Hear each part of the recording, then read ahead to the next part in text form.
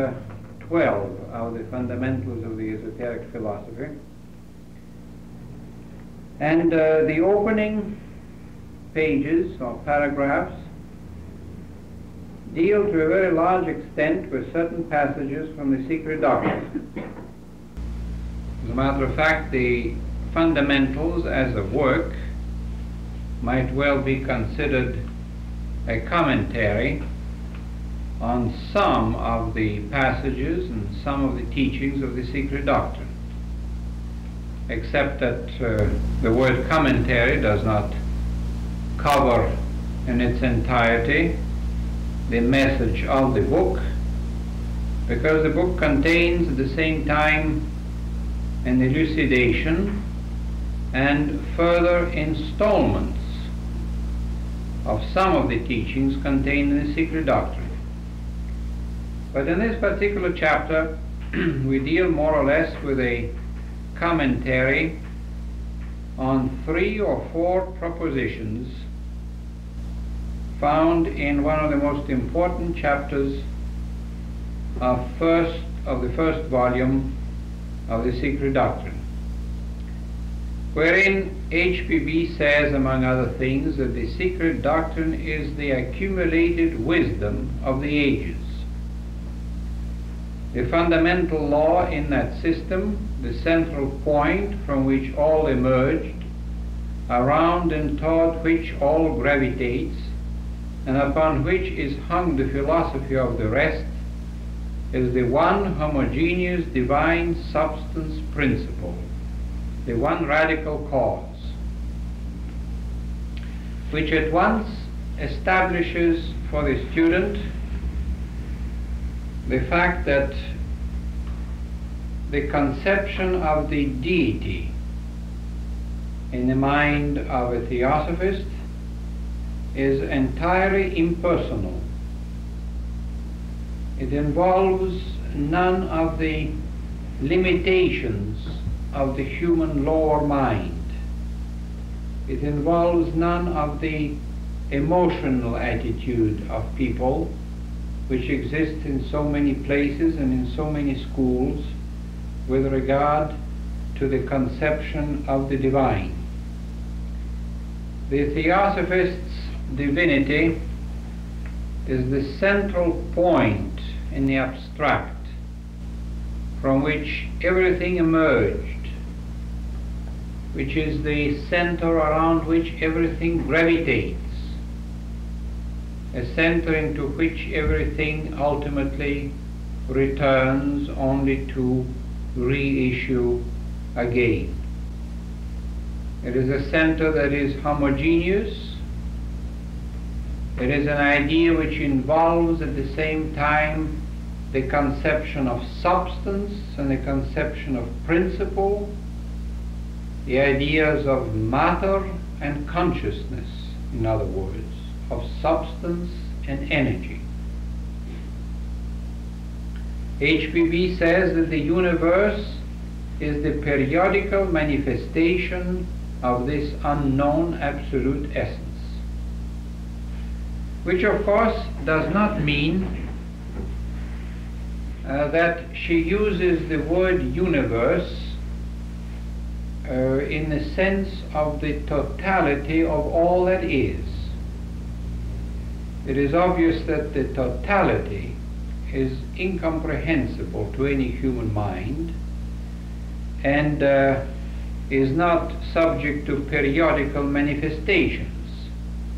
She means by universe any one universe out of millions, any one particular hierarchy, let us say a solar system or if that isn't uh, vast enough to satisfy us, then a million solar systems, which we will call a galaxy or island universe to use the astronomical terms, any one particular aggregate of evolving systems. Such an aggregate has always a beginning an evolutionary unfoldment, and an end, a relative ending. It has its periodical manifestations. It has manifested before, just like a man. It will manifest again, just like we will have another embodiment on this earth. So the universe, in the sense of any one particular system, however gra- grand and great it may be, is the periodical manifestation of this unknown absolute essence. And uh, in another place, uh, she says that uh, the field of consciousness, the field of the all, uh, has a constant succession of manifesting universes like sparks of eternity. And there are always some universes that come up, others that are in full bloom at this particular time, and some others which go out or are just about to go out. So in the endless fields of infinity and eternity, uh, we can observe, uh, even on the physical plane, let alone on the inner planes of consciousness, the appearance and the disappearance of individual universes like tides that come and go, like the ebb and the flow of the tides in the sea. She also speaks of the fact that the universe is called, with everything in it, Maya, because all is temporary therein, from the ephemeral life of a firefly to that of the sun. and as a matter of fact, what difference is there in conception between the lifespan of the firefly and the lifespan of a sun? From the standpoint of our small human conceptions, naturally the firefly is something very small and puny and insignificant, and the sun is something tremendous and majestic and uh, almost uh, forever enduring when looked from our standpoint. But in essence, the life of the sun is just as ephemeral as the life of a firefly, compared with something still greater beyond our conception, which, uh, in which all of what we know is included as a mere atom. And at the same time, the lifespan of a firefly is certainly, even from the standpoint of our modern science, a period very long indeed as compared with the cycles pertaining to the life span of an atom or of an electron. How relative are these various conceptions? And now we have a uh, fairly long quote here from the same uh, part of the secret doctrine around page 272, 73, and 74 in the first volume. A passage which contains a wealth of basic propositions of the esoteric philosophy. It's packed with teachings, packed with meaning. HPB says the universe is worked and guided from within outwards as above, so it is below. As in heaven, so on earth. And man, the microcosm and miniature copy of the macrocosm, is the living witness to this universal law and to the mode of its action. We see that every external motion, act, gesture, whether voluntary or mechanical, organic or mental, is produced and preceded by internal feeling or emotion, will or volition, and thought or mind. As no outward motion or change, when normal, in man's external body can take place unless provoked by an inward impulse, given through one of the three functions named, so with external or manifested universe. The whole cosmos is guided, controlled, and animated by almost endless series of hierarchies of sentient beings, each having a mission to perform, and who, whether we give to them one name or another, and call them Dhyan Chohans or angels, are messengers in the sense only that they are the agents of karmic and cosmic law. Now the main thing here is to bear in mind that everything in the universe is worked and guided from within outwards. That is in the process of evolutionary, evolutional unfoldment. Everything that we see has its uh, roots, its impelling urges within its own constitution. Everything that we can observe in the world of manifestation is uh, organized from within uh, is a uh, embodiment of an internal energy in manifestation. Everything that we are ourselves and everything that we observe outside of ourselves is only a relatively uh, expressed, partially expressed manifestation of something higher. In a way, we might even speak of it as being a symbol, merely a temporary symbol of something far greater than the symbol itself.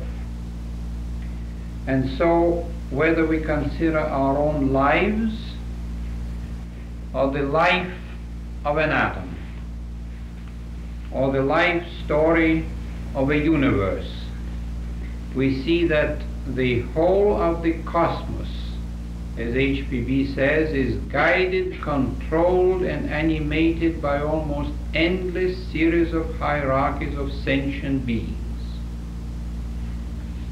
And that these beings, on whatever level or plane or scale they may be, might be looked upon in the mystical sense of the old Greeks the mystical sense of the early Christians who call the spiritual motivating powers of the inner universe angeloi, which means messengers, not what the word angel has come to mean in later theology, but in the original sense of being messengers of a higher force, transmitters of a higher power, distributors of a certain message, the carriers of a uh, uh, force, of a power, of a pattern or blueprint, uh, which eventually, uh, when embodied in the lower worlds, gives manifestation to the powers within. And that all of them are messengers only in the sense of being agents of karmic and cosmic laws.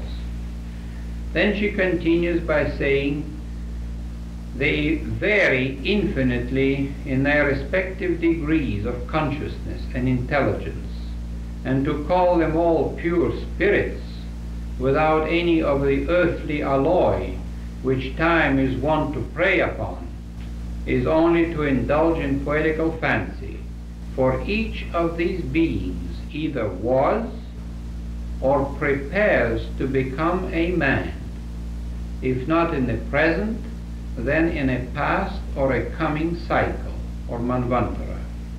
They are perfected when not incipient men and differ morally from the terrestrial human beings on their higher, less material spheres, only in that they are devoid of the feeling of personality and of the human emotional nature, two purely earthly characteristics. Now this involves an exceedingly important point of teaching, point of the esoteric philosophy, uh, which we should carefully consider and try to remember. Because this teaching, when misunderstood, taken out of its general context, and uh, twisted, uh, not uh, on account of predetermined evil will, but twisted because of ignorance and misunderstanding, uh, has given rise and probably will continue to give rise to false teachings, which unfortunately exist in some portions of the organized theosophical movement. Uh, the important point, I mean, is to remember that the esoteric philosophy teaches in this connection that when we look from where we are as human beings upon the various hierarchies, low and high, the various grades of evolving beings below us and above us, we can say, and this is just a paraphrase of what HPB says here, we can say that below us as human beings are myriads of entities who in due course of time will become men. They are incipient men, potential men. In the future they will evolve into becoming human beings. And the myriad of entities above us are men who have graduated from the human school of life.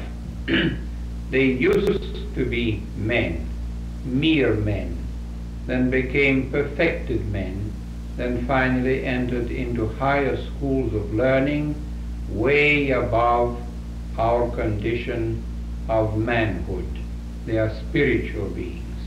So they are uh, past men perfected men and beyond, and in the other direction they are incipient potential men. So that this stream of evolutionary growth rising from the depth of the lower degrees, we might say, passes through the stage of manhood at one or another time and forges ahead into greater realms of spirit. This is important to remember because uh, there exists today in certain portions of the theosophical movement and in certain books that pass for theosophical uh, quite a lot of teachings uh, which uh, propound the idea uh, that there are other kingdoms of life in the universe, uh, the kingdom of the angels, or maybe of the devas, to use the Sanskrit word for, for the same thing, which run in their evolution parallel with the human race without ever meeting our stream at all. This, unfortunately, is a lot of wishful thinking. It is a mix-up, a crossbreed between some particle of truth and uh, exoteric legends mostly of the Hindu cycle of legends and religious folklore. It is not the teaching of the esoteric philosophy. It is not supported by anything that you can find in the secret doctrine, or the other original installments of the esoteric philosophy from very high sources, and it cannot be shown to hang together with all the other teachings. And the beauty of the esoteric philosophy is that every teaching in it hangs harmoniously and blends perfectly with all the other portions of the same system of thought. Anything that does not blend, that clashes, that produces impossible gaps, must be shown and can be shown to be an alteration of the original teachings based either on ignorance or on wishful thinking or on a misunderstanding of one kind or another, for which, of course, we uh, uh, do not blame anyone. We simply point out to the fact that, like everything else in life, there are genuine teachings and there are perverted teachings, but we do not mean by saying this that there is any evil motive in so doing. Uh, the great uh, schools of evolutionary unfoldment, uh, which we might call kingdoms of life, they blend with each other, they pass one into another. Uh, there is a uh, endless line without possible beginning or end, without ultimate beginning or ultimate end. I mean, a pilgrimage of evolutionary unfoldment, a golden thread upon which all the myriads forms of life are strung, so that each kingdom is helped by the one above it. Each kingdom is, uh, we might say, even pushed forward by the one behind it in a certain peculiar mystical way. There is a relation both ways there. And uh, it is precisely because there is that endless progression because all the kingdoms of life hang together and are interrelated. It is for that simple reason that the esoteric philosophy is full of endless hope because for every stage of life there is forever hope of becoming something greater if all of this were divided into parallel lines which do not meet and ever cross, the whole uh, beautiful symmetry of the system would fall apart. So HPB continues. The differentiation of the germ of the universe into the septenary hierarchy of conscious divine powers who are the active manifestations of the one supreme energy. They are the framers, shapers, and ultimately the creators of all the manifested universe, in the only sense in which the name creator is intelligible. They inform and guide it. They are the intelligent beings who adjust and control evolution, embodying in themselves those manifestations of the one law which we know as the laws of nature. Here again, the thought is clearly brought out that uh, throughout the structure of the universe there runs a uniform pattern, an overall blueprint which the various hierarchies of beings follow. It isn't an outline that has been drawn by any kind of a cosmic personal divinity. We might say that the outline itself, the pattern, the law upon which it operates is a fact of being. It would be impossible for our finite minds to give it, to give it any kind of a definition. We may observe its workings, but we cannot define its essential nature as it transcends and will forever transcend the limits of our finite mentality. And with regard to the word, word creator, which has been so awfully misunderstood by uh, organized medieval theologies, it should be borne in mind that all it means to the theosophist, if he uses it at all, is that a certain creative power within the man or within the universal system brings forth into manifestation an already existing spiritual reality. It is not the bringing of something out of nothing, the making, the fashioning of something out of nothing. In that sense, of course, every human being is a creator. He cannot do anything, not even write a letter, without being a creator in the sense of manifesting upon a piece of paper a sequence of thoughts. In that sense, he is a creator, but he has not brought upon the piece of paper something out of nothing.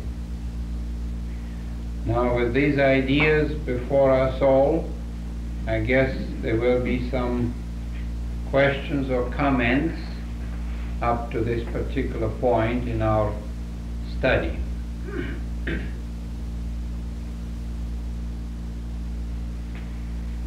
Boris, Yeah. I don't understand quite well why did you say that idea of the angels having a different kind of evolution, parallel but apart from humanity, could be a wishful thinking. Because in reality I would consider that something that would pertain to injustice. I don't know why is the word wishful thinking applied there. Well, I use that word with a uh, certain thought in the back of my mind regarding some people who forever love the idea of worshipping, adoring something that is outside of themselves and does not in any way pertain to themselves. Uh, the exoteric religions of the world have all done that. And some people who have studied theosophy but did not understand its teachings have done, unfortunately, the same. Is They seem to be in the heart and the mind of some of us uh, humans a peculiar desire to imagine that there are entities in the universe which can be worshipped, which we can lean upon, which we can invoke for help without having any particular relation to them. Uh, that is wishful thinking while if we realize sufficiently clearly that these entities, whom we certainly uh, must revere without worshipping, that these entities once upon a time were men, and that we men today, once upon a time in the future, will be like they are today and greater it cuts at the root of all personal worship. Then we feel that uh, what you have mentioned yourself, justice, cosmic justice, is uh, a thread running through the entire cosmic structure, and that there are no gaps between the kingdoms of life and that we are all uh, weighed, we might say, in the same cosmic scale. See what I mean? Any other ideas or comments?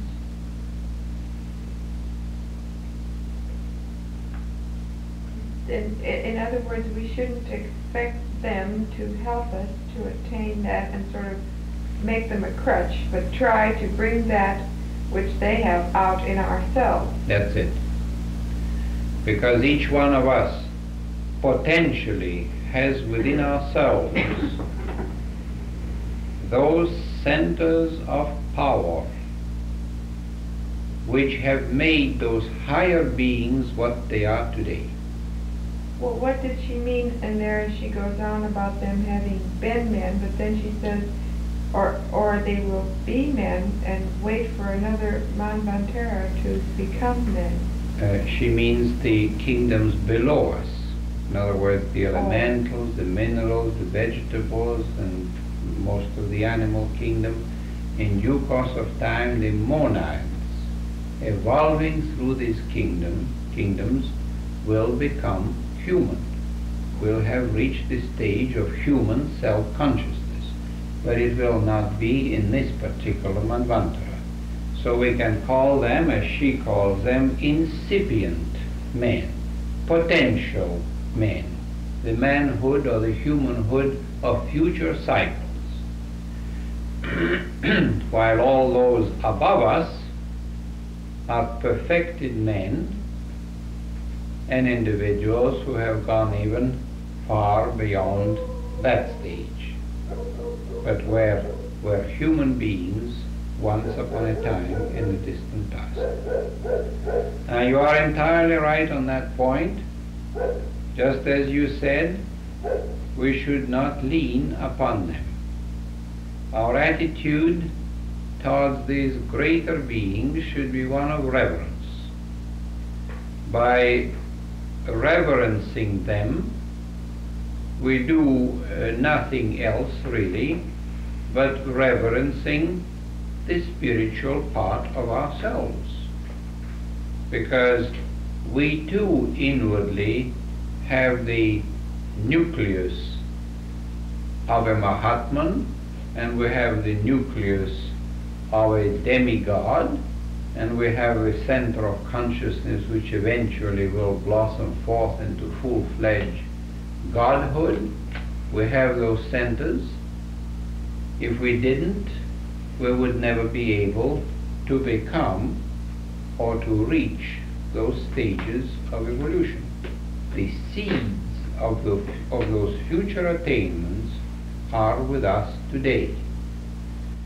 Analogically, the seeds of humanhood are in the animal, are in the vegetable, are in the mineral or the elemental. The seeds of the higher kingdoms, that is the seeds of that type of consciousness, is in them. If it weren't so, they would never become anything higher. But there is a great difference between reverence, recognition of greatness, the desire to emulate, to become and to grow like unto them by intuition and an urge to grow. There's a great difference between that on the one hand and a worshipful attitude, an adoring attitude, and prayer for uh, favors and advantages which we have not earned ourselves. Makes you sort of sick inside because uh, you know how many religions teach that and nothing else. Yes, most of them. That is why the dear people, the very lovely people that many of these schools contain, are living in a fool's paradise. They are living in a delusion, in a world of unreality, for which we cannot blame them. Many of them live beautiful lives and are constructive elements in the life of the community in spite of the religious school to which they belong. Because frankly, I don't see the slightest incentive on the part of any man or woman to try and live a decent life or to grow or to become better. If you can put, or if you are told to put all your sins on the shoulders of Jesus or the Virgin Mary or the corresponding Mohammedan and Hinduist uh, gods and let it all be there. Well, what's the use of doing anything better? So I think the fact that millions of people are trying to better themselves is something that they are doing in spite of the very pernicious, dangerous, and delusive doctrines which they have been taught from childhood. That to me stands as a proof of the existence of the inner man in every human being. That in spite of wrong teachings, they have an urge from within to do something to better their lives.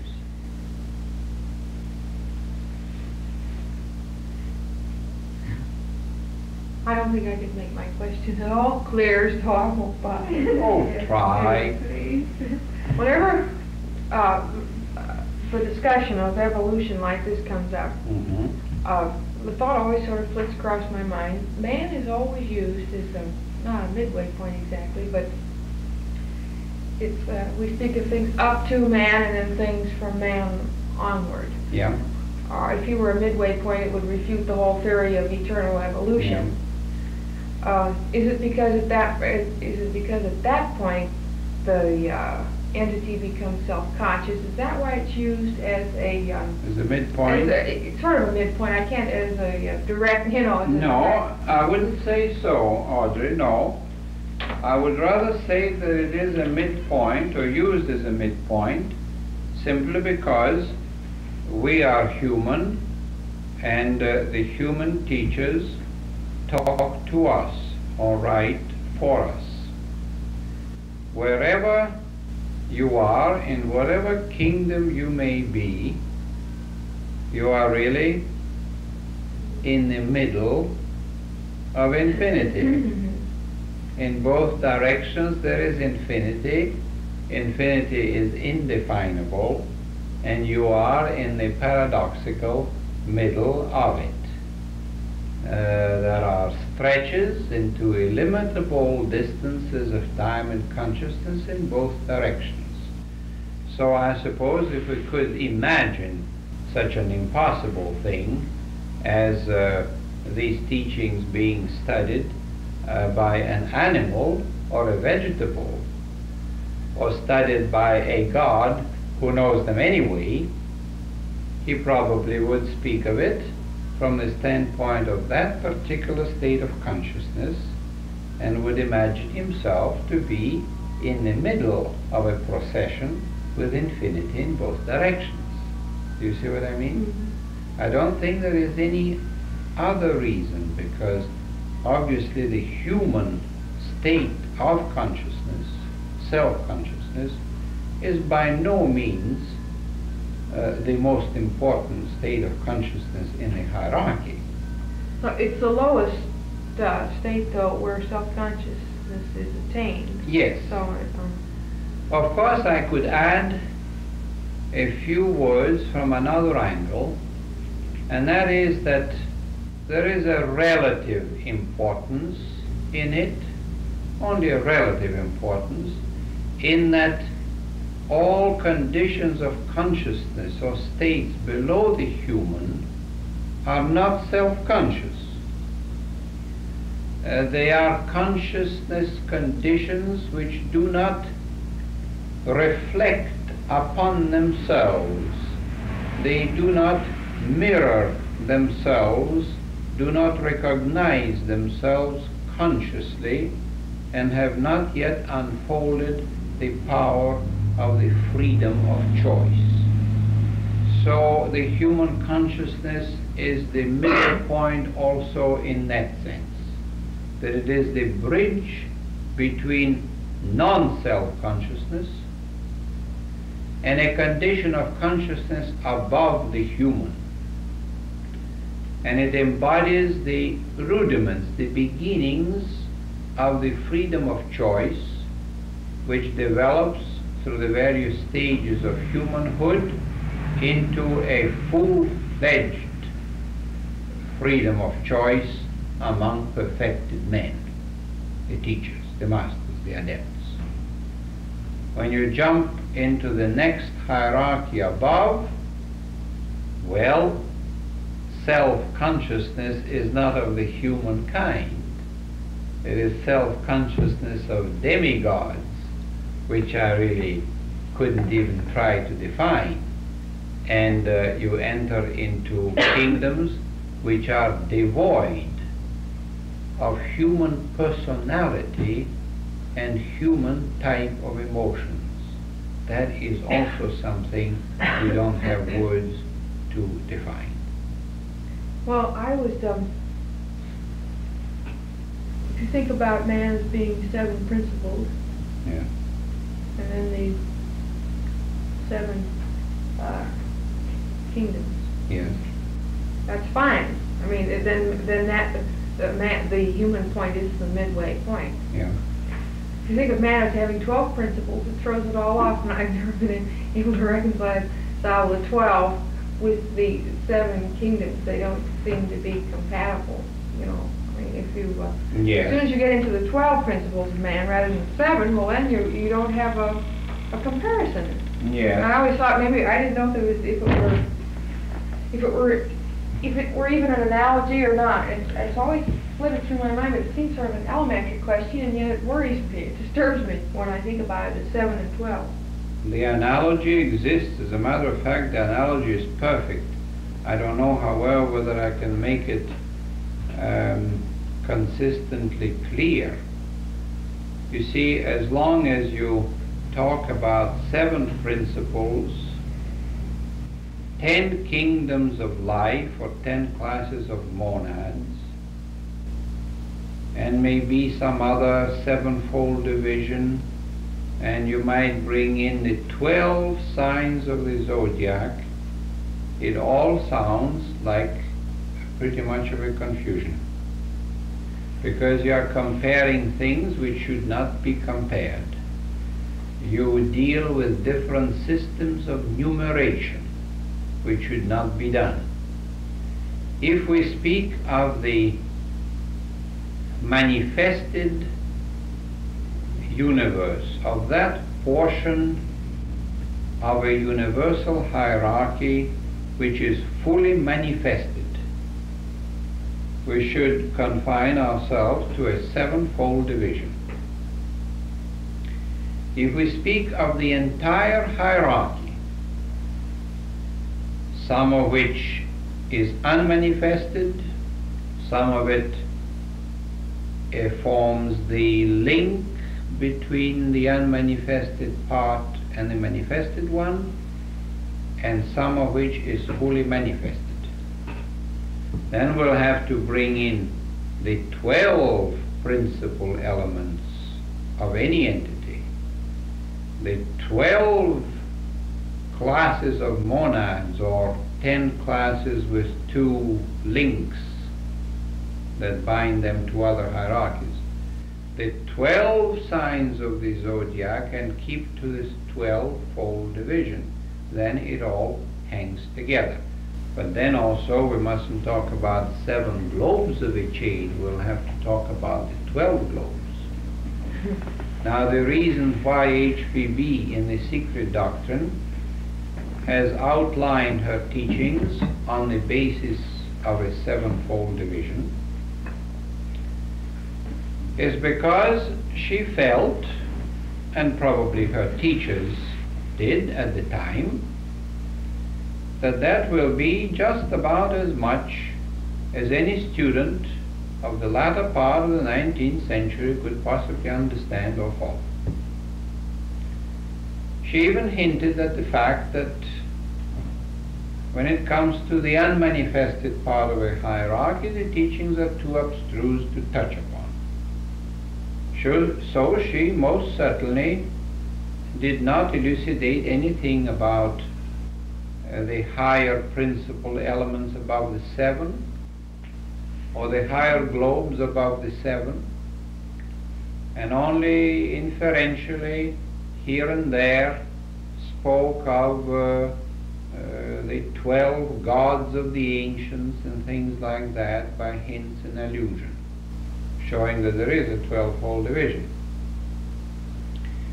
But many of these teachings since her days have been not only explained but elaborated upon and further installments from the same source of information has been given through the writings and the work of Dr. de Purucker. Now some students of Theosophy, some of our own brother students throughout the world will not agree with what I've said now. They will question and show considerable suspicion that any man could have since HPB's days brought in any further installment from the same source of occult information. The reason being that good students as they are, they have crystallized their minds into a mold. That mold says HPB is the last word. Nobody until another messenger turns up in the latter part of the 20th century can ever turn up or show us anything more than what HPB left in the secret doctrine. That's a lot of eyewash. With all the great reverence that we have for HPB as a teacher and considering the fact that the secret doctrine will stand as a profound source of occult information for centuries to come, we must never forget the fact that HPB herself in a secret doctrine says that century the 20th might see the appearance of another man who will give irrefutable proof of the existence of this, that, and the other. Now, here we stand, of course, on the ground which um, allows uh, of a wide difference of views, and I'm not pushing my feeling in the matter upon any one of you. But as far as I'm concerned, that individual has already turned up. To me, it was Dr. de Purucker. His work was the next installment of the teachings and uh, it would take a lot of sweat and blood on the part of some of my brother theosophists to prove that I'm wrong, though I'm not forcing that idea upon any one of them. You see? I don't know how we started this sort of uh, by path here, but anyway, this is in answer to what uh, has been asked. Now to go back for a moment to your question there, has that been mm-hmm. fairly clearly set forth? We must not mix up numerations. Um, it would take a long time and probably a blackboard and perhaps even a whole booklet of material to make plain if any one of us can make it plain, how the 12 principal elements and the 12 globes of the chain and the 10 classes of monads with the two links on each side, how they are related. Personally, I do not have the uh, full knowledge of such things wouldn't even think of claiming to have that knowledge, although we know many individual points. And as far as our knowledge goes, it can be stated that there is a perfect coordination and concordance between the rounds, the races, the globes, the classes of monads, the principles and the elements of which all of this is built, including ourselves, so that the framework, or rather the blueprint, of the planetary chain or even of the solar system is so beautifully engineered by those cosmic spiritual engineers that the general pattern reflects itself on all the scales throughout, even to the remarkable point that the uh, the numerals, the digits of various cosmic cycles can be shown to be present in the beating of a human heart. This just is an illustration. But that is a very vast subject. That's difficult.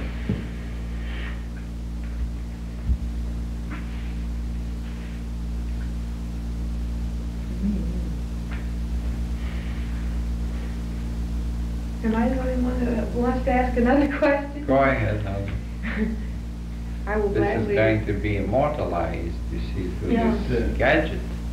This might go as far as Holland before you know. Won't it. Your voice will be traveling from lodge to lodge over there.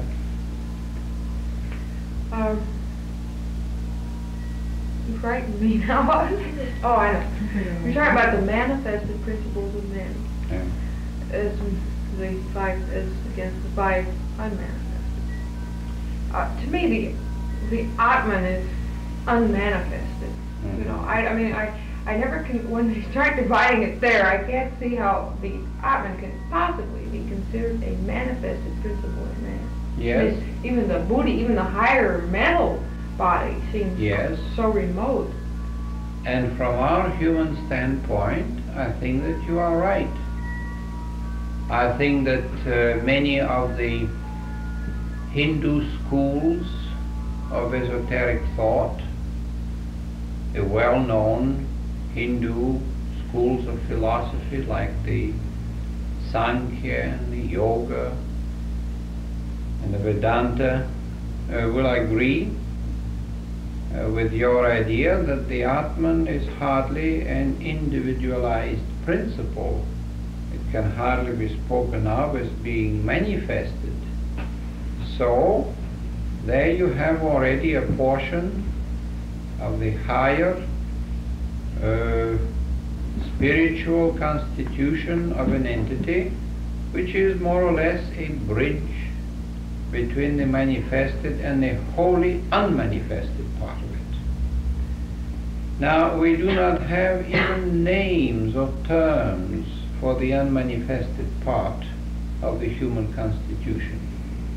All that uh, has ever been said on that subject is simply to, to draw a triangle or perhaps a five-pointed star above the seven principles, indicating that there are five higher, which in some mysterious way are related to the unmanifested principles of the universe of which we are a part. Let us say the, uh, the planetary chain. And in the case of the planetary chain, the same correspondence to the solar system. So you are right in your feeling there. The Atman is the is the divinity in man, a ray of cosmic divinity, and uh, everything that is above it is completely unknown to us, except that by analogy and correspondences we feel that there exists or that there exist in man these higher links for him to be linked with the corresponding realities of the universe.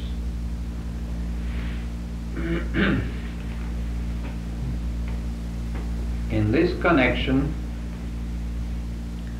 attention might be drawn to certain passages in the Mahatma letters.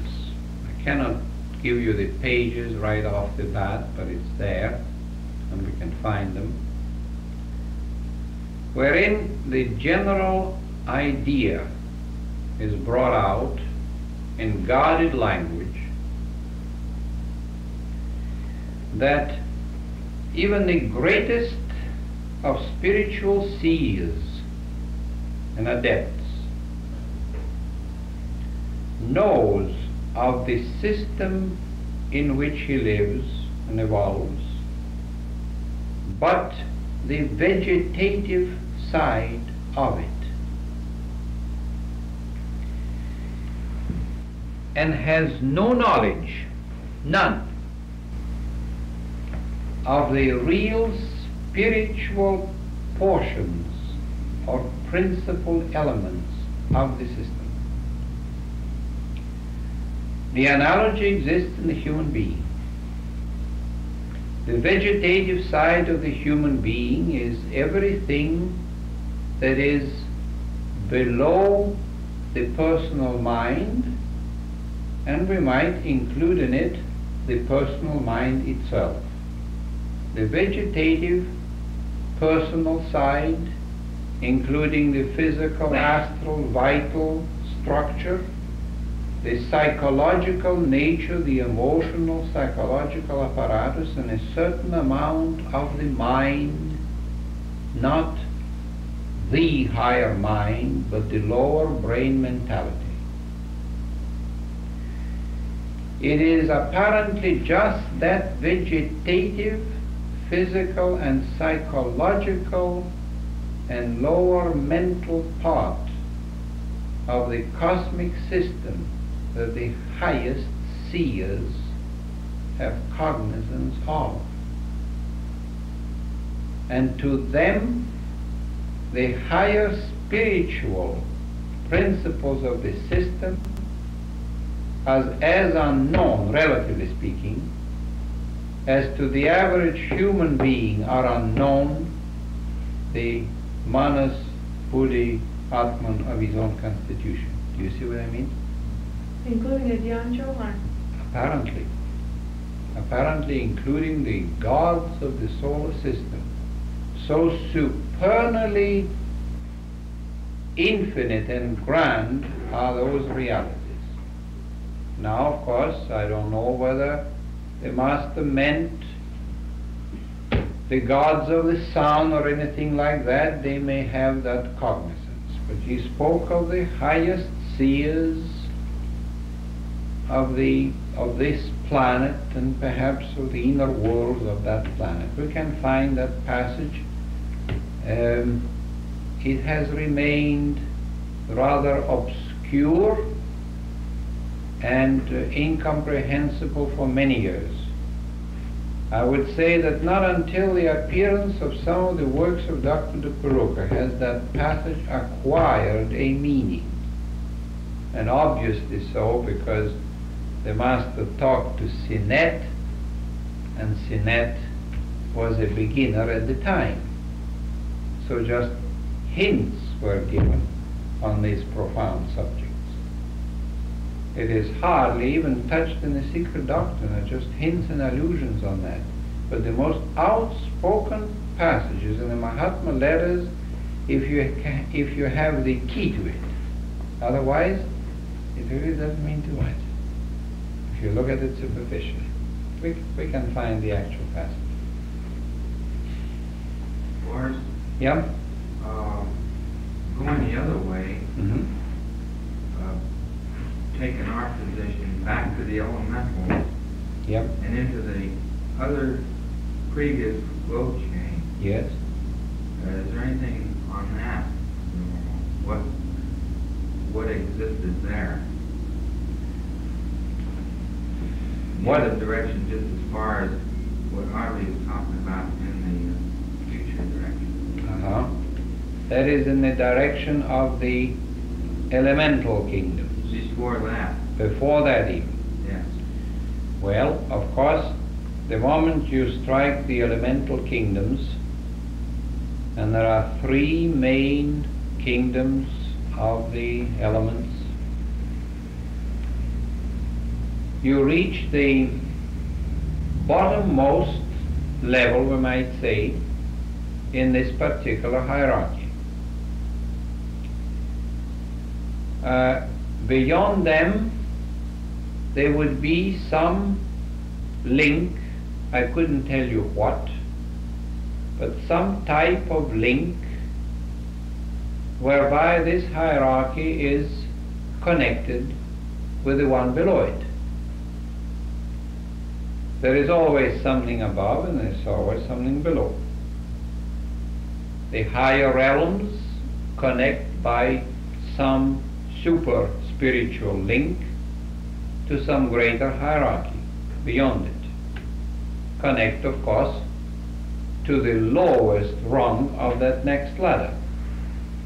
By analogy, below the elementals is a link or links which will connect that hierarchy, our hierarchy, with the higher reaches, the highest reaches of the hierarchy immediately below.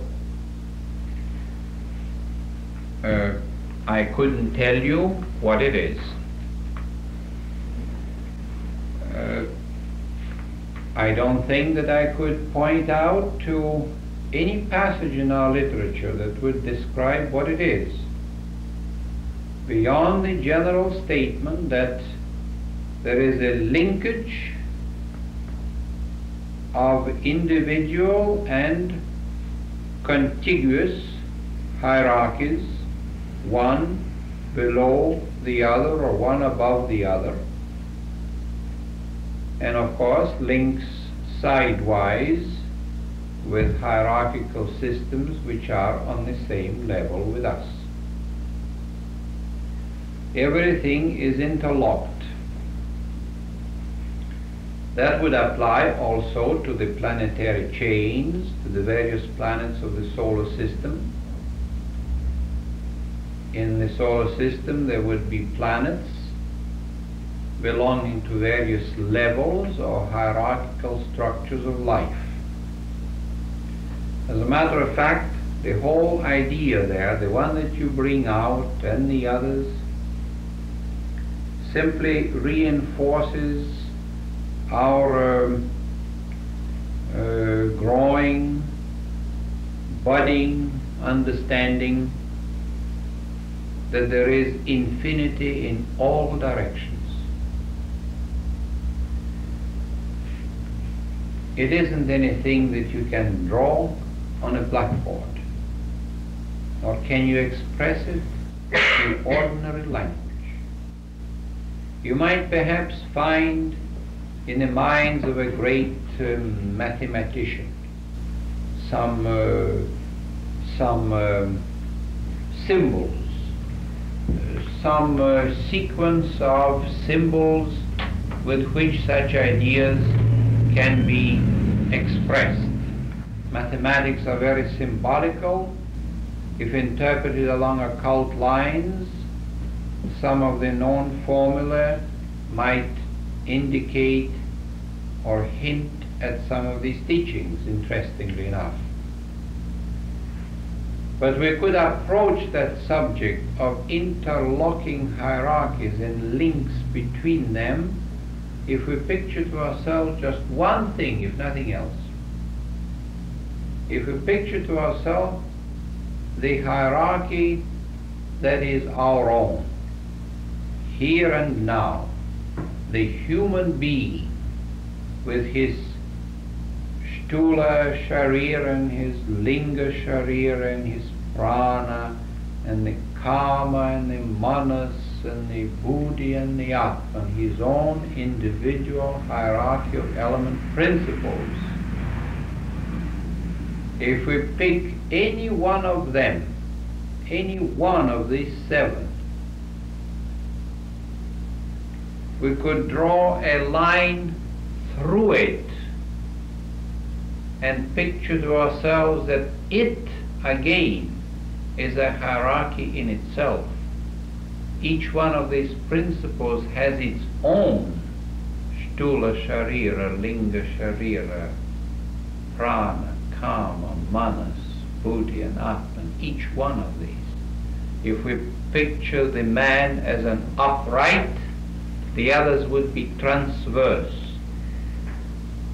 The more you think of these things, the more you realize the endless interlocking of universal hierarchies. Did you listen to last week? It's a darn good thing I didn't ask a question. All set, Marcia. Wait a minute, a little.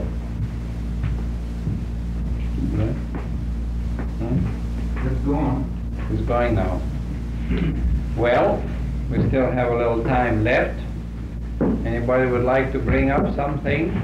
I think as far as our chapter 12 is concerned, it will be just about enough for tonight because this is very, very meaty. Mm. I have an idea that we will be on that chapter for another two meetings. I've read it carefully today. I thought we might proceed a little further than we have, but uh, the meeting has been quite, uh, quite serious and rather profound. There is no, uh, no, no use of overloading our minds. So considering what that chapter contains from now on, we'll take quite a little slice of it next time, and I think that we will have plenty for one more meeting. Uh, as I read it, I found that practically uh, in every paragraph there were key thoughts which should not be just slurred over or only lightly touched upon. So we'll just keep on the same chapter now. Anything else? How about you, Jane? Well, wait till you change the subject a little bit and then they can have a question. That's all right, we can just branch out to something else now. Yeah. I I don't want to be the first one to branch out. Oh, go ahead, we, we, we really covered Mhm. quite a bit on that, so we might as well uh, get another line now. You have something that you would like to have elucidated a little? Well, uh, let me uh, uh, form it. Yes, that's all right, sure. Anyone else? How about Stiletto then? Was it difficult to follow? No, you You could follow this, couldn't you? sometimes I go away for a little while. Uh-huh. But it, uh, it sounded, uh, sounded all right to Oh, you? yes. Was It understandable? is. That's very nice.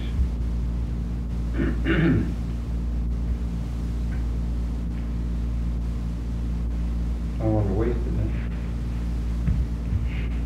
You got another hour here. Extravagant We American. have another hour. Well, uh, I might as well say this, it might as well be on the, on the record there, that I had thought if such uh, records um, are practical and can actually be made and sound all right, they might be of some use in, um, in other parts of the world, and I have particularly in mind Holland.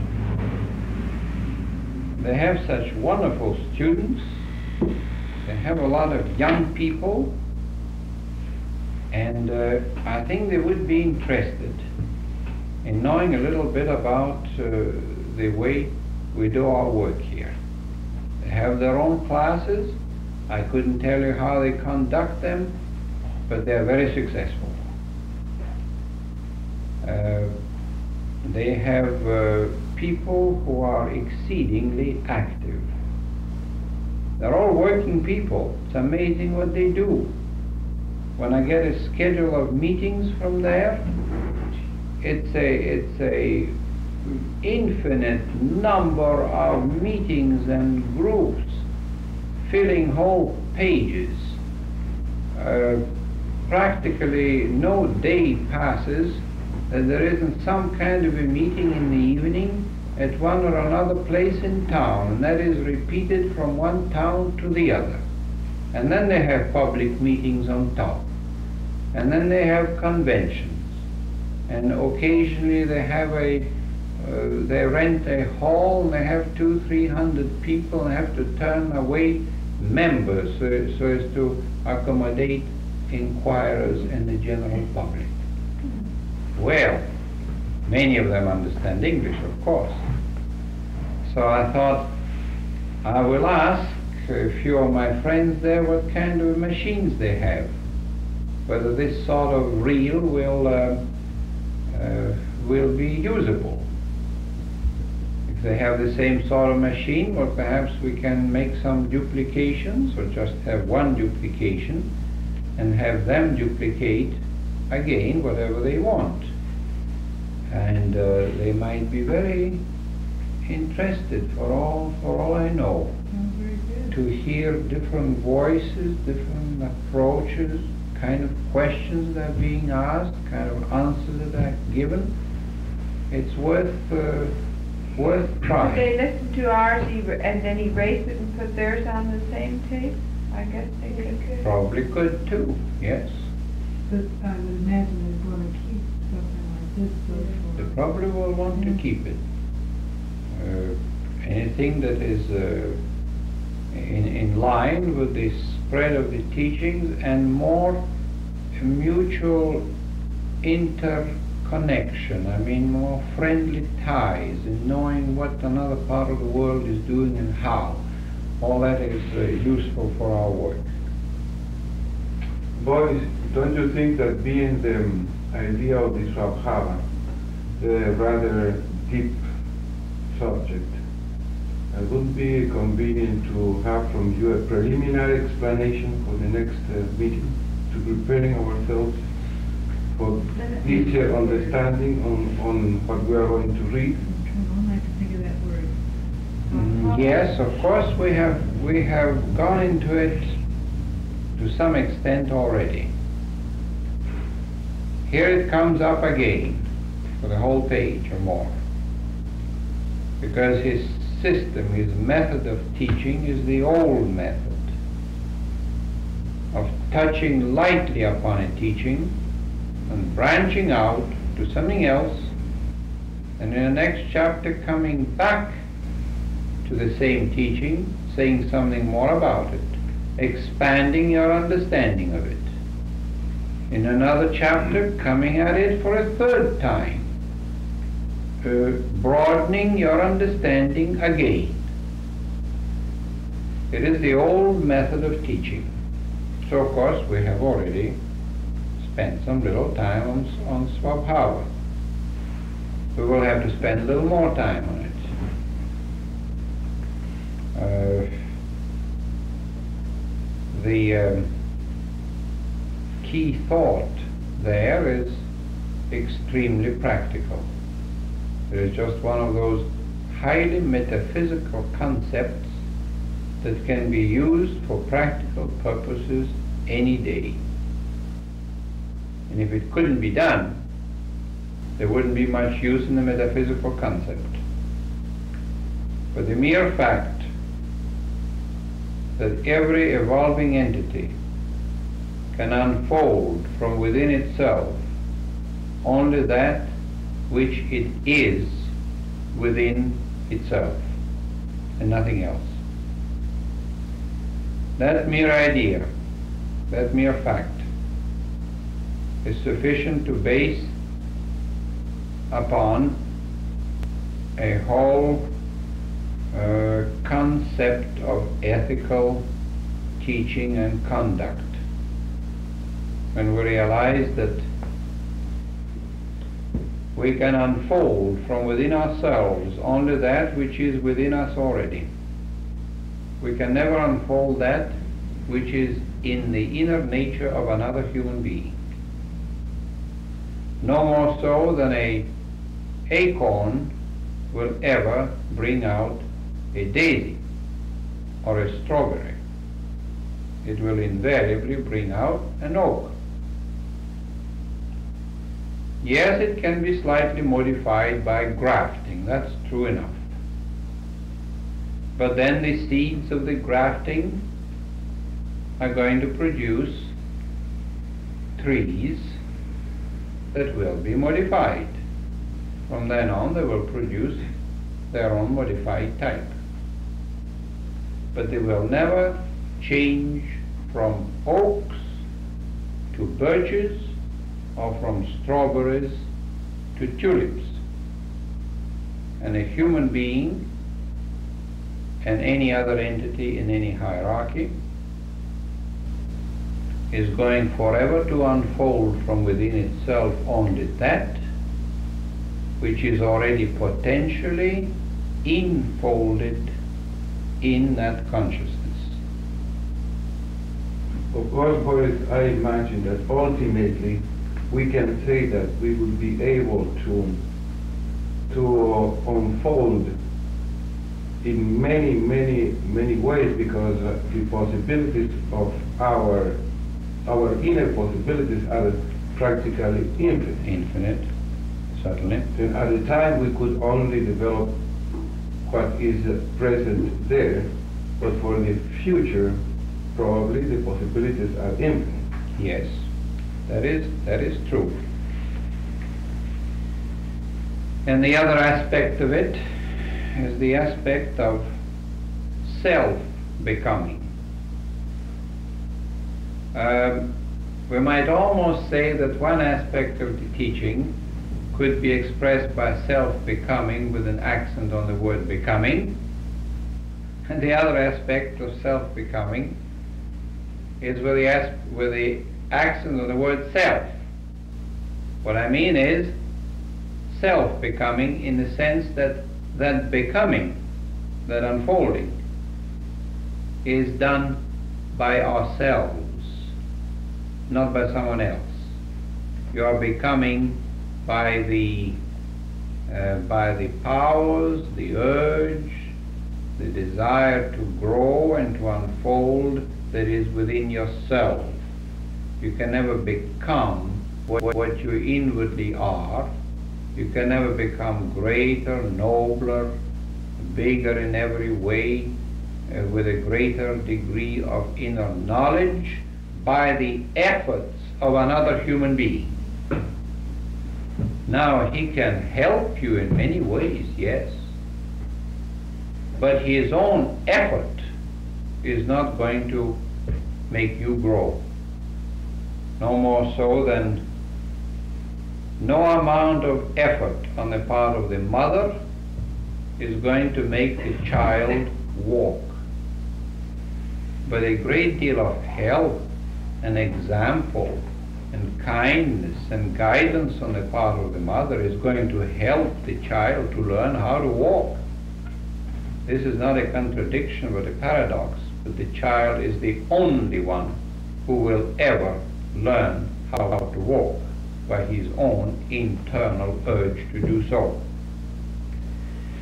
So the self-becoming, the self-unfoldment, is not only the becoming and the unfoldment of the inner self into manifestation, but it is also the becoming and the unfoldment of that self by its own inherent power. And a third aspect there, which is quite abstruse, but can be made into a great practical power in human life, is that whatever unfolds, whatever grows, constantly brings out from within itself its own universe. Very metaphysical point that. I don't know whether I can put it in any simple language. An unfold, an unfolding uh, divinity of a universe unfolds from within itself the universe. The whole of that universe is a manifestation of that divinity. Every fiber, every atom, every electron in that universe reflects a portion of the divinity of which it is an unfoldment that is applicable to a man as well. Every one of us sitting in this room now is an unfoldment of the powers that are latent within. Every particle of us, every one to the very last atoms in us, manifest to some degree what we inwardly are. No, por- no portion of us belongs to another human being. We are forever evolving within our own sphere. Well, that means a lot, practically, means a lot. The man who lives in this house, this or another house, fills that house with his own atmosphere.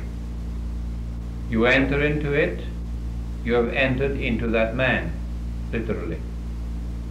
Because everything radiates what that man is. His art, his genius, his kindness, or his hatred, his revenge, his criminal tendencies, if that is the kind of a man we have, oozes out of everything in the house. He has filled his place, he has built it out of himself. I don't mean now the bricks in the wall, but I mean the subtle forces and fluids and emanations of the world of consciousness which he has built out of himself and in which he dwells. Don't you see what a tremendous power there is in that teaching?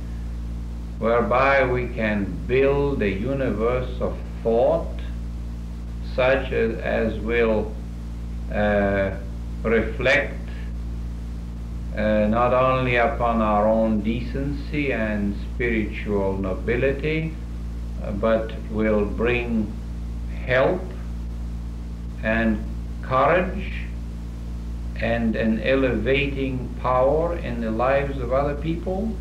We can contact others with nothing else but what we are. But what we are is the partial manifestation of what we inwardly have become.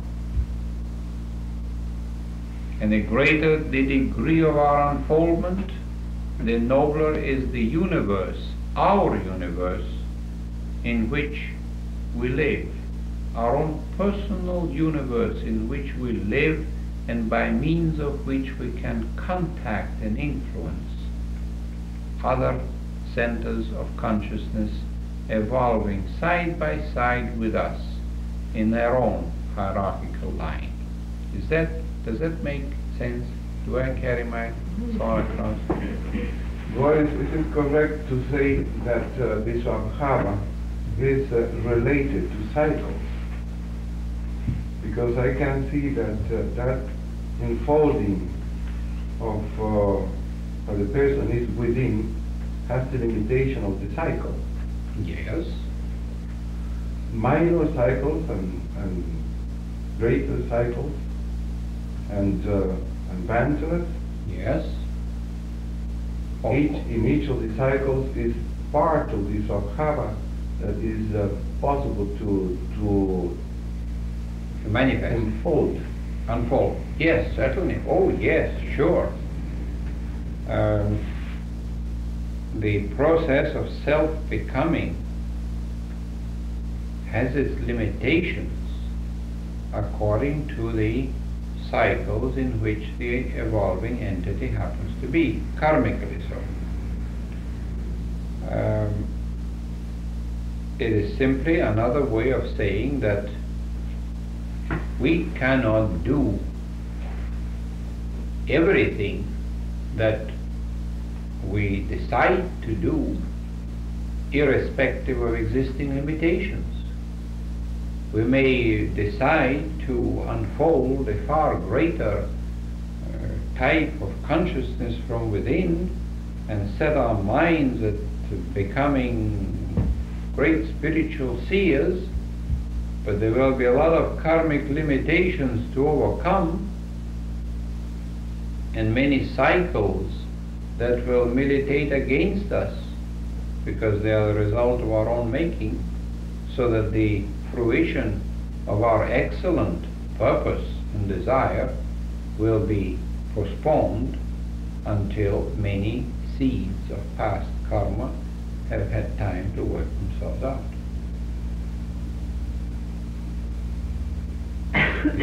the only thing that we are at all times completely free to do is to make a resolution, to take a choice, to make a decision. To carry it out, that's an entirely different thing. But to make the resolution and the choice, which is the first step, in that we are free at any time.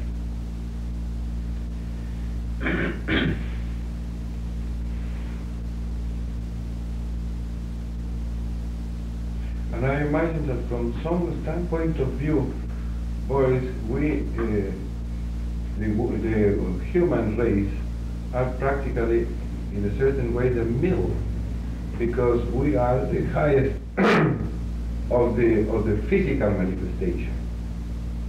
In other words, for an animal to become a man, it has to go through manvantaras.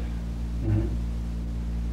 While I can imagine that for a man to evolve into a more perfected man, he doesn't need to go through a manvantara because it has reached the highest of the physical manifestation. I see. Yes, that is uh, largely true, especially after the uh, rounding out of the, um, uh, the, the lowest point in the evolutionary history of the earth, the bottommost point, which divides uh, the descending arc from the ascending arc. It is interesting to note that um, individuals beyond the human do not necessarily use physical bodies at all. Of course, that applies to the elemental kingdom as well. But it's interesting to note that there are some kingdoms, vegetable, animal, and human, that are so physicalized that their uh, dynamic evolution takes place in physical forms. But the elemental kingdoms do not have any physical forms, though they might take some at times. And entities beyond the human kingdom, the kingdoms of the Dhyan Chohans, for instance, are completely devoid of physical form or shape. They're not dependent upon that anymore, showing how how relative these things are and how temporary they are. The time will come in, in inevitably when every one of us will have a choice to work uh, within a physical body and through it or without. At that time we will be a certain type of adept who has that choice. The time will inevitably come when we will pass beyond that choice, when it will be completely impossible for us to work through a physical body because of its limitations. Well, I understood that in order to make an evolution, at least uh, in the stage we, we are, Mhm. it is absolutely necessary to have a physical body. Yes. Yes. And probably that is uh, related to elementals. Probably the way that they acquire even temporary physical bodies, that is the way in which they can have some impulses in their evolution. Yeah. Yes, yes, that is uh, that is true. Um, and we must also remember that the physical bodies of the various kingdoms are not yet fully developed. They will have a further evolutionary perfection in succeeding rounds. Here we have a subject which is apt to be misunderstood. We can speak of various stages in the evolution of the physical body.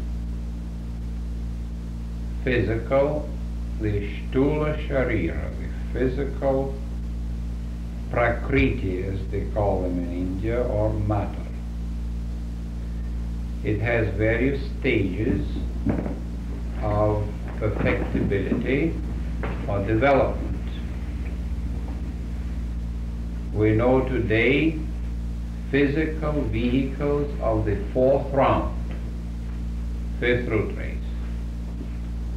We'll know eventually physical bodies uh, of sixth root race and seventh root race of the fourth round. Well, of course, you realize that the physical bodies, the physical part of man, has still the fifth, sixth, and seventh round to evolve in. So, there are much higher stages in the development of even the physical matter. But if I could show you to illustrate what those higher stages are, none of our senses would perceive them because they're utterly invisible to our senses. In other words, here is the paradox. If we can speak of a root race of human beings in the fifth round or the sixth, and if we can speak of them as inhabiting physical bodies, we will be telling the truth. These physical bodies will be immensely more perfected than are ours.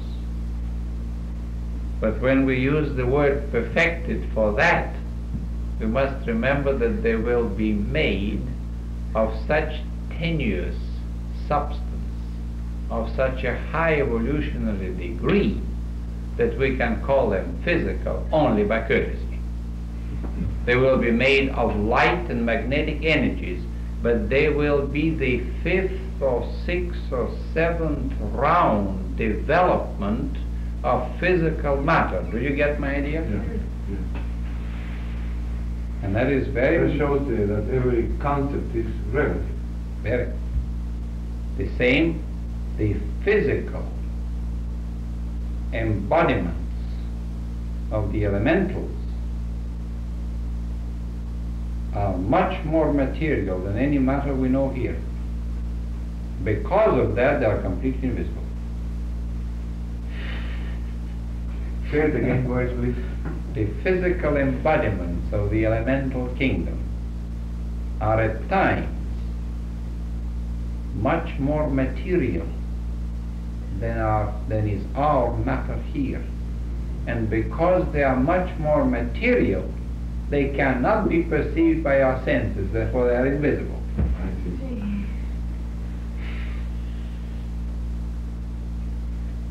That's the, that's the paradox. We, we center our conceptions around our senses and what they perceive. So it is difficult for us to imagine that this space here and now could be occupied by a type of matter which is very much more dense and material than anything we know. And we could walk through it with the greatest of ease because it bears no vibrational relation to our senses. So it doesn't exist. The same thing for another kingdom, another level of consciousness, which may exist here and now and have no cognizance of the existence of that house at all, because it stands in no vibrational relation to it. That, of course, we know, we definitely know that, because here is a world of electromagnetic energies with radios and televisions and electromagnetic waves, and they fill this room, and they fill all the houses in Los Angeles, but nobody can see them. They are an interpenetrating world that coexists at exactly the same time and space with all else that we call matter, but they are not in our way. We do not bump against them. We do not skin our shins on electromagnetic waves. They exist at the same time, at the same place, and they are non-existent for us unless we have a some gadget by which we can tune in. And even then we cannot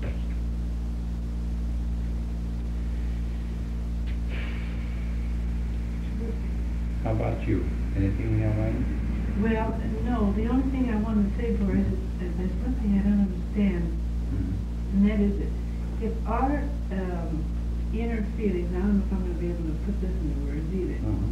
that our inner feelings and our inner wisdom or understanding, whatever you might call it, is so immense, so great.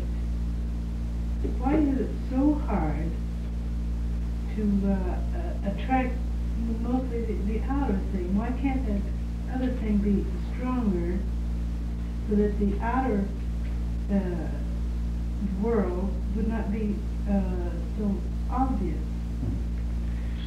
Mainly because we have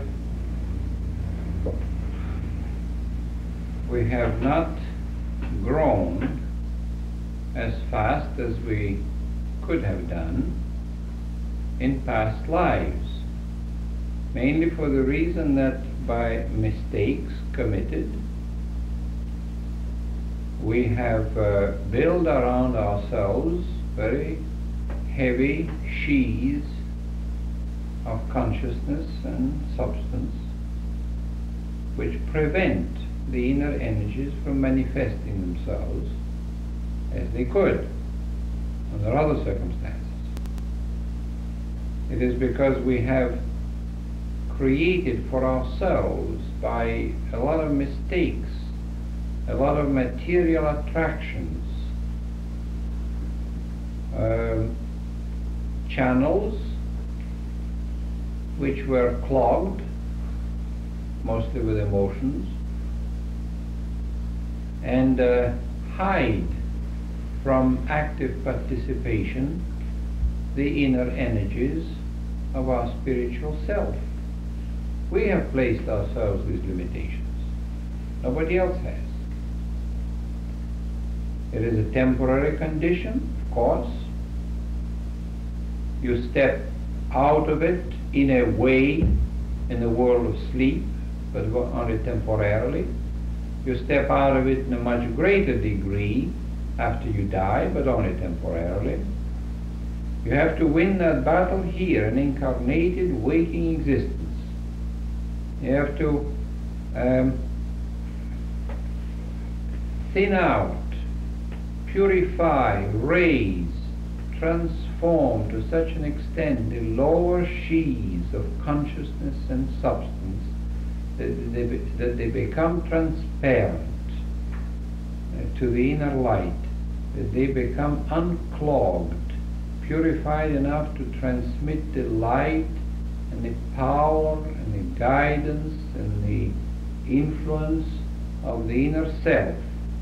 Then the things of matter, of the outer world of emotions, cease to have any attraction, cease to be of much importance, except as means to some noble and lofty end. And that takes many lives to accomplish. That is because we have sunken into matter much more heavily than was supposed to be the case. We might say fallen angels again, yes, if you like. we have tripped and fallen pretty badly. But a lot of people, a lot of other people have done so with us. And that is applicable even to some of the great men, spiritually great, who may uh, be temporarily in our in our world. They too may have made some mistakes in their own higher spheres, otherwise they wouldn't be here. Does that answer your question more or less? Now friends, I think it's just about time for us to close. We seem to have branched out today into all sorts of things. But um,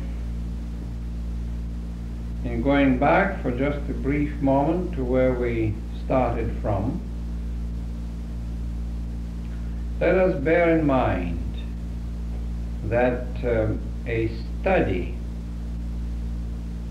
of some of the main passages in the secret doctrine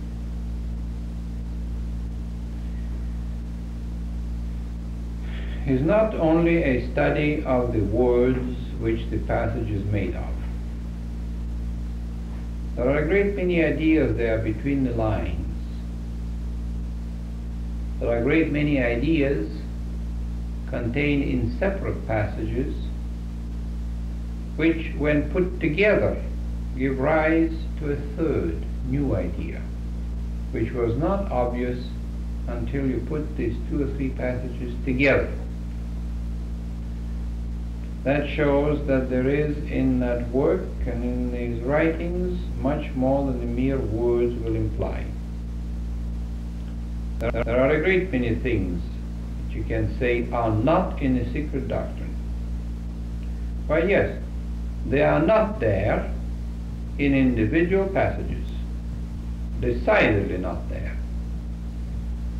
But if you were to bring a few passages together and ponder over the various ways in which certain ideas are set and compare, you will suddenly find that after all there is in the secret doctrine this, that, and the other point. If you have the right key to the unlocking of the inner and certain passages, that in itself is a life study. And I suppose that a great many students in the century to come will be uncovering depth in the secret doctrine, and Isis unveiled too, which we have not even suspected were there. And the beauty of the study of these things is the fact of their elevating influence upon the student however abstruse, abstract, and metaphysical these teachings may be, they have a redeeming power. You fill your mind with these lofty thoughts, and your mind begins after a while to soar over the petty things in life. You dwell on these teachings inwardly, and you soon realize that the vibratory rate of your own mind has been raised, so that many of your fears and anxieties and shortcomings and peculiarities of the personal self have um, uh, become less prominent, have loosened their hold upon your consciousness. That in itself is a marvelous effect. Anything that can do that, whether it be a printed teaching or the contemplation of a sunset, anything that can achieve that end is of a spiritual nature. Essentially, it is the urge on our part to identify ourselves with a greater consciousness within us, either by contemplation or concentration or even intellectual study if it is not a mere dry intellectual brain activity. Any of these disciplines or methods of training are in, intended to raise the human consciousness from the personal to the impersonal, fairly well known to the relatively unknown, from the relatively dark to the relatively light and spiritual. So that by the study of these things we open doors of consciousness and we open them upon great wide fields, fields of thought which raise the human mind into the contemplation of spiritual realities. It is like opening a window and getting in the spring air into the room. It is like opening a door, a portal, and walking into a wide, great, rolling field with flowers.